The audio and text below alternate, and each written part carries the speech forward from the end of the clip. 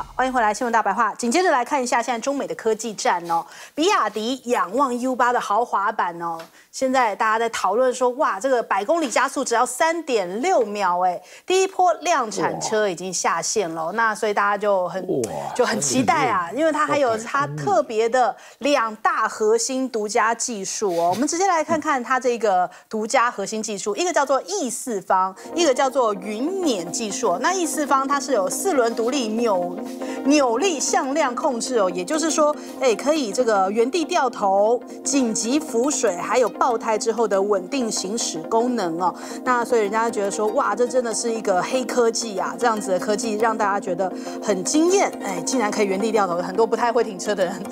可能蛮喜欢这功能的。另外还有这个云辇功能哦，它是说智慧液压车身的控制系统，所以这个技术呢，也是大陆首个量产的四电机这个驱动技术哦，能够凭借着这个四电机独立向量控制技术，来对于四轮的动态。实现精准的掌控，然后也让这个汽车提供更有可靠的保障。那所以，连加州的州长来到这个中国大陆参访的时候，不是也很惊艳吗？说自己想要买两台仰望哦，因为这样子的一个原地掉头的黑科技，真的是一个跨越性的技术。那另外，我们看看中美晶片的这个战争哦，现在中国大陆的记忆体龙头长江存储竟然告美光啊！过去我们都听到是美国告中国大陆，现在诶，情势逆转了吗？现在。变成中国大陆去告美光侵犯了八项这个三 D 这个三 D 的一些专利哦。那另外我们看一下，日经也提到了华为 Mate 六十 Pro 拆解显示出来录制的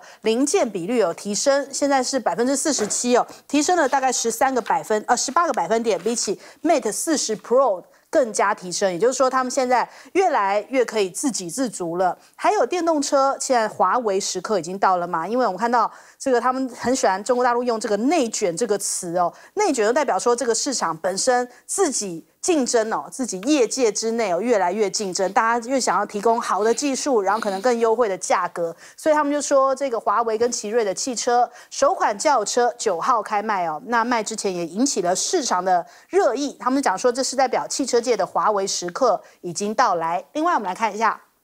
呃，习拜会的前夕，现在美国的商务部长雷蒙多就讲说，双方都渴望能够稳定关系啊，能够这个现在全世界也在注视着两国是否能够负责任的管理双方关系。但是他后面还唠一句狠话，他说，晶片跟 AI 攸关国安的议题，美国没有协商空间呢。啊，话说的很死，但真是如此吗？另外，我们看这个中国大陆的官媒提到了，这个美国对华的晶片管控会损害两国的利益，加速。中国的高科技进程，你越打压中国，这个加速的时间越加的缩短嘛，然后让自己更快的进步。所以他说，这不应该是一个猫鼠游戏啊。那这个美国对于中华呃中呃中国大陆的这个晶片出口管制哦，现在其实是损害也是损害到自己啊，也会伤到自己。那中国大陆当然就自立自强啊，让它的自主创新的这个进程更加的加速。那马斯克也提到了，他说其实他的观察哦，就是。呃，他在这个科技业界，或者是在这个汽车产业界，他讲到他有观察中国大陆的工人跟其他地方，比方说像是美国这边的工人哦，的确，中国大陆的工人就是这个聪明又勤奋。我们来听听。Uh, the the sheer number of really smart, hardworking people in China is um, incredible. Uh, there are really you say like how many smart, hardworking people are there in China? There's far more of them there than there are here. I think, in my in my opinion, um, the uh, and they've got a lot of energy. So, I mean, the, the architecture in China that's in recent years is far more impressive than the U.S. I mean, the, the, the train stations, the buildings, the high speed rail, everything. It's um, really far more impressive than what we have in the U.S. 对，所以其实他很明显的感受，哎，中国大陆为什么科技这么的强哦？可能也是来自于他们这个这边的人更加的勤奋，然后更加的聪明。那另外我们看这个美国现在希望能够让两国的军事更加的破冰嘛？这是白宫的国安顾问、安全顾问苏利文提到。呃，拜登总统决心看到这个军方跟军方的关系重新建立哦，因为他说这符合美国国家的安全利益，所以他们必须要有这些沟通的管道，才不会出错、误判或是误传。那在这个习拜会前夕，其实美国的参联会主席也致函刘振立，他说希望能够重启军事上面的沟通哦。那还有我们看这十五号，因为大家也在聚焦习拜会的登场，像德国的媒体讲说，中方其实。也有也有所求啊，他说希望能够呃，就是挽救自己的经济哦，跟西方的贸易，所以美方呢，则是希望防止中美的竞争变成了一场战争啊。那首先我们来问一下亮哥怎么看？这个 U 八 E 四方这个功能真的以前真的没见过，嗯，因为一般你驾驶技术很好，你也许可以让车子在原地打转啊，可是那个矢量你没有办法控制，嗯。那它这个是可以调整的，比如说你可以调整，说我转三十度、转六十度、转九十度，那它会，所以你如果在很狭窄的空间呢，我们倒不要说什么它九十度这样停车了，方便宅轩停车，不是这种功能啊，是更常见的是你在很狭窄的路面要会车，对，那你就可以用很微小的角度调整啊，那让你可以会过去，啊，这个比较常见的啊。那另外还有掉到水里面，你的车子会转不动嘛？嗯，那它有办法让你调整角度，然后可以逃生啊之类的啊。所以怪不得 Newson 很有兴趣。这个，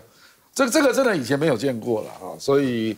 这个是一种技术的突破了。不过比亚迪事实上，它去年的销量就已经超过特斯拉了。它去年大概卖了。我看到统计是一百八十六万辆，啊，那特斯拉大概只有一百三十七万辆，啊，这个原因可能是因为特斯拉的型号太少，它的变动性很少，嗯，所以很多人就说，事实上中国的电动车的崛起也是给美国刺激啦，就说你创新太少了，对啊，这个就好久还比 iPhone 十五嘛，因为中国的手机也非常多元，那你就会看到 iPhone 实在太懒惰了这样。就创新太少啊，那比亚迪这个趋势可能还在扩大，因为它的车种会越来越多啊，那搞不好它还会进入并购期，那就会有各式各样的系列出现，所以所以所以这也难怪了，为什么这个马斯克会开始抱怨国内了啊？这个 因为美国那个 UAW 汽车联合工会要求拜登。要让特斯拉要主工会，啊，这个造成特斯拉股价大跌啊，因为美国的工会那个力量是很大的。你看到看到最近那个薪资谈判，他不是要求他说要比比照那个高管要增加四十趴吗？对。那这个因为特斯拉是没有工会的，所以现在显然他是遭遭到了挑战。可是他如果要在美国扩厂，你不让主工会，这个可能性很低了。嗯，好，来问季老师。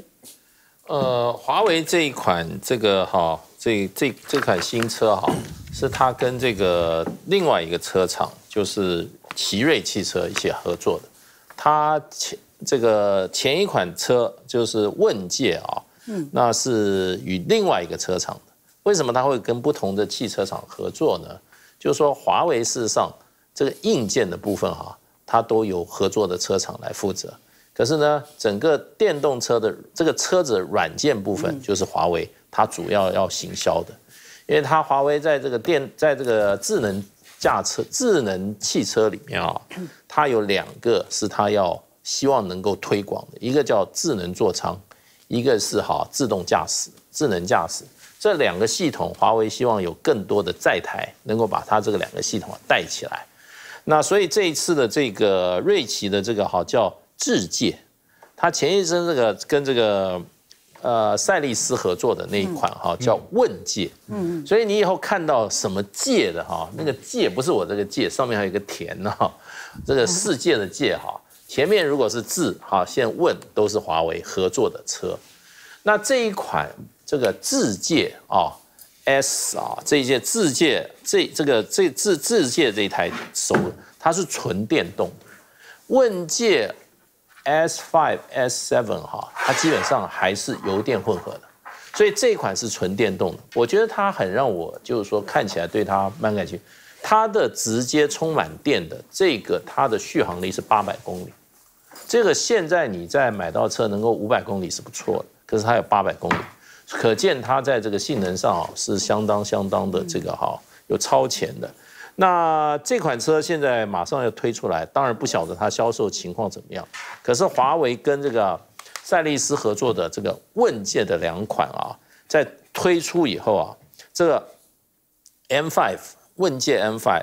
累计交付量十二万台。那最新的那个哈，这个哈 MC 的哈，它 M 也是问界 M7 哈，出来已经怎么样预？这个哈销售到已经八点六万台，然后最新的问界 M9 哈预购量已经两万五，所以这个得以说华为的这个这个华为的这个相关的车车辆汽车系统啊，在在在中国大陆受到极大的欢迎。嗯，那最后它会推动一种，如果它的销售量大的话，它会把这个智能座舱跟这些哈自动驾驶的系统啊，它很可能会哈。可以推广到其他的不同的车系里面，嗯，就变成华为的智能驾驶、智能座舱哈，一统天下的这种局面，这可能是它的最大的目的。嗯，好，来请教赖老师。我们都知道，汽车工业是一个国家工业化啊最主要的一个指标之一啊。呃，你看，不管是美国，或是德国、法国，或是后来的日本，再后来的这个韩国啊，他们能够成为一个高度工业化的国家。其实最主要的还是来自于他们的汽车工业，它是一个很重要的一个表征啊。啊中国大陆的汽车工业能够异军突起，我倒觉得他们最主要是来自于他们的概念是革命性的变化。这种创新是在过去汽车工业界里面的设计者或者引领者他们所想不到的。过去我们对汽车工业或者是对汽车的功能，都是把我们人或者货物从 A 点啊移送到 B 点。可是问题是中国大陆对汽车工业的概念就不止这些了，嗯，他们也要把这个娱乐放到里面来，把休闲生活放到里面，把工作间放到里面，甚至把它跟家庭、跟任何地方的用互联网的方式把它整个串联。我觉得当他把这些都串联起来了以后，我们看到它的革命性的变化就出现了。那所以为什么欧美的国家，包括特斯拉，他们跟不上？哦，特斯拉越来越觉得它跟不上。嗯，最主要还有另外一个特点，就是大陆本身的内卷，也就是彼此之间的相互竞争，彼此之间的相互竞争这么的激烈的情形下，他们出现了你所谓的内卷，而因此他们这种相互竞争，使他们的竞争力一直在往上爬爬升。当他在国内的竞争成为龙头的时候，他就是国际间的龙头。